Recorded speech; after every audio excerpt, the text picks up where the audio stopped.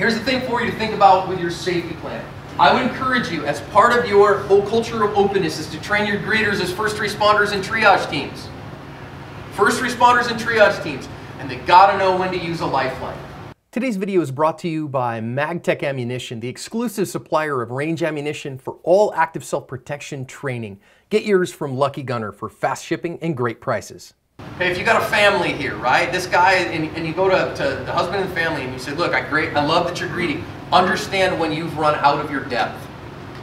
Understand when you see a problem out in the parking lot, your job is not to solve that problem, it's to come get help or to send your middle child who's old enough to come get me to come get me. We always had something at West Greenway when I was there. We had a, we, we had a, a code word. Now this code word is an easy one. You might adopt it, you might not. The code word was unique. If somebody came to me and said, Pastor John, I have a unique visitor you need to meet. Then everybody in the congregation knew. If you came to me and said, I have a unique visitor, it means I have a problem. It means something's not right, Pastor, I need some help. Hey, uh, most of my church just call me John. John, John, I got a unique visitor. Can you come with me and help? Whatever I'm doing stops in that moment. Sure, I'm on the way. Hi, how are you? What can I do for you today? Now I know in my soul something's wrong here, because usually then, a few times that we had this happen, somebody's agitated, somebody's frustrated, the uh, problem in the parking lot, you know, somebody had a fender bender or something like that. Hey everybody, what's going on? Can I help you? Rawr! Yeah, that makes sense, you know, blah, blah, blah. And then I would tell that other person, hey, would you go get team member number two? Right? Hey, I need team member number two. Can you go tell Justin we have a unique visitor? Now, if I'm standing in someone's presence who's frustrated with me and say, hey, I have a unique visitor, can you go get some help for me for that? but they're not going to go, ooh, I'm going to fight you. You know, you're unique. You're, you're special, right? It's okay. See how non-threatening that is? Mm-hmm. So, having, training your greeters. What's a problem look like? What's something that's there? A triage team, when somebody comes in and they're angry, does your, does your greeting team know how to say, okay, are you doing okay today? Hi, how are you? Okay, can we help at all? Have you had coffee?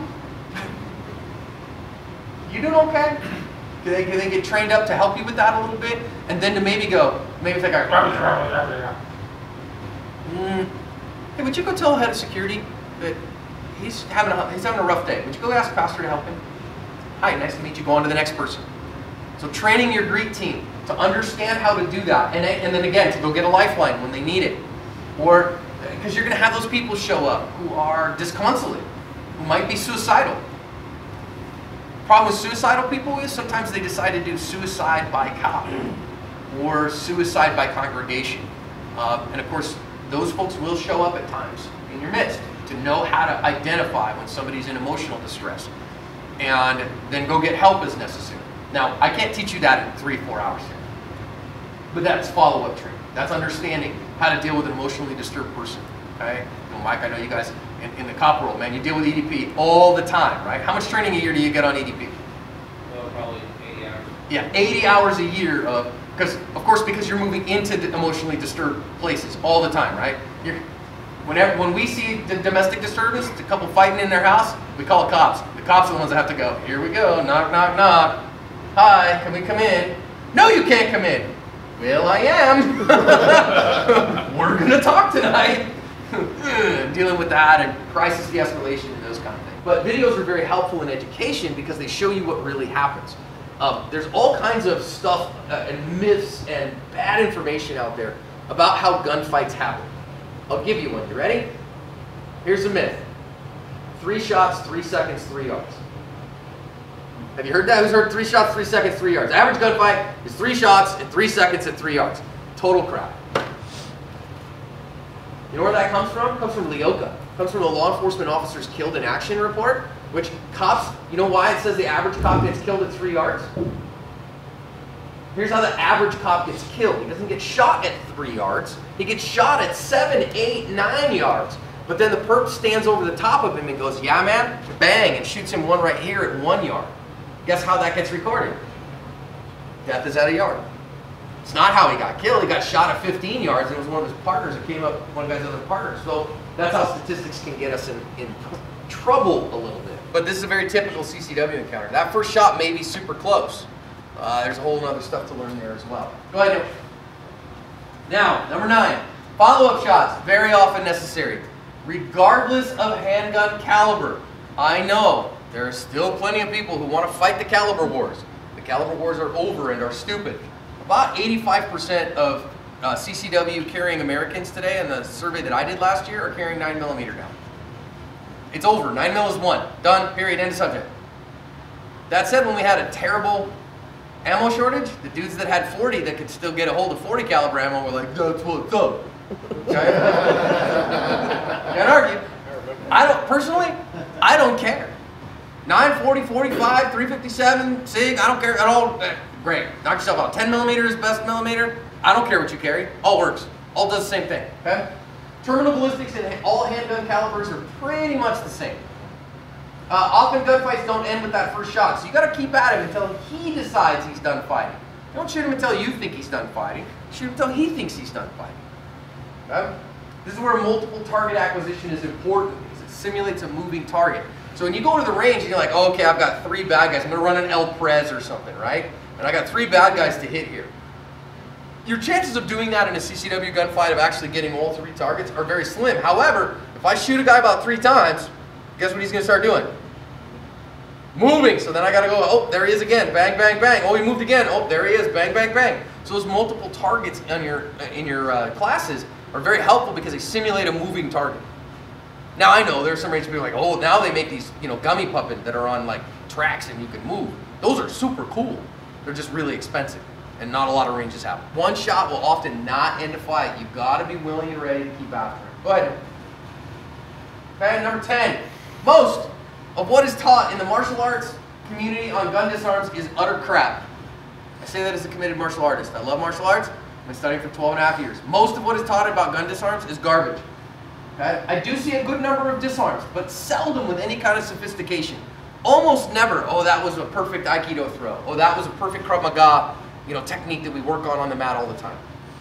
The principles of the 5Ds plus 1 is what I see again and again and again. Plus 1 is control the distance, then after that it's deflect, dominate, distract, disarm, disable. See it every time, all the time. Happens again and again and again, okay?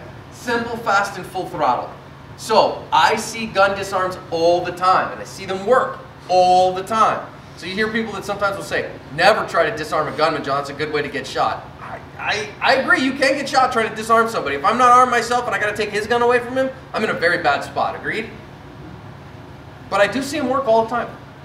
I see him happen pretty regular, okay? Go ahead. Here's one of my favorites. It's actually a really old one on the channel. Um, security guard here, security guard here. Okay? You're gonna see a guy come down the hallway here with a gun. She is gonna bug out. He is gonna go to work. She's like, oops. He sees that guy with a gun. Mm, what? Nope. Boom. Whack boom. There you go. Three times your size. I mean, yeah, you can't, you know, uh, yeah, do you have a huge advantage there? He's still fighting. Now, now, uh, listen, I will say that's a big boy. Yeah. Uh, But that big boy was spry. He could move. Simple, fast, and full throttle. If we walk all the way back through it, you can actually watch him decide to control the distance and get there, grab the hold of that gun, keep it from pointing at him, and dominated it, and then just went to town with the elbows on him, took the gun away from him, and beat the crap out of him. He's not Looked like you waited for him to raise it so he could then just. Wait, oh, there it is, boop, and off he went. So again, I do see them happen with some degree of regularity, but you've got to go practice. Now, now remember what I said earlier about the videos not being training? The videos are education. I can show you what's required. That does not train you to do it. You might go, oh, I've watched enough ASP videos. I know what to do in the moment. Uh-uh. You got to be on the mat. You got to go. All right, stick a gun in my face. Ready, go. Uh, we've taken it to the level. Now, you will see, anybody see the videos of the idiots that are doing this with a live gun? Eat on a Bullnick likes to do that too. Big time, right? Kala system, God bless. And, uh, you know, st- oh, stick a live gun in my face and I'm going to take it away from you and all that stuff. Now, listen, let's be real. Is he really going to shoot that guy? Hopefully not. But okay, so what does the guy holding the gun know? If, if he doesn't go fast enough and I pull the trigger and I turn his head into a canoe, what does that make me? A murderer. Am I going to pull the trigger? No, I'm going to wait till it's out of the way. That's not a, an actual realistic way to do that. You know how it is a realistic way? We've done this. Put on the freaking mask, you give somebody a simunitions gun. You go, you can't move until I move. But what we did is I did this uh, at our martial arts school with a middle rank uh, who's a teenager who liked to be really competitive, liked to win, right? Crisp hundred dollar bill. You can't move till I move, but once I move, if you shoot me in the face, you keep that hundred bucks. Does he want to shoot me in the face? You darn right he wants to shoot me in the face. I've only lost one hundred dollar bill to the kid, and I beat him up several times too, which is kind of fun. Totally worth the hundred bucks. So, so again, practicing those disarms takes time on the mat. It takes effort. It takes energy. It takes instruction. It takes a willingness to pressure test. It takes time. Now, again, how much has this guy practiced that on the mat? I don't know. Does he look like a? Did that look like kung fu? No.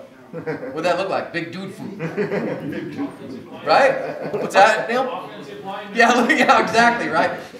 Looks like homie played, uh, you know, at least D3 football, right? but that's how they go in real life.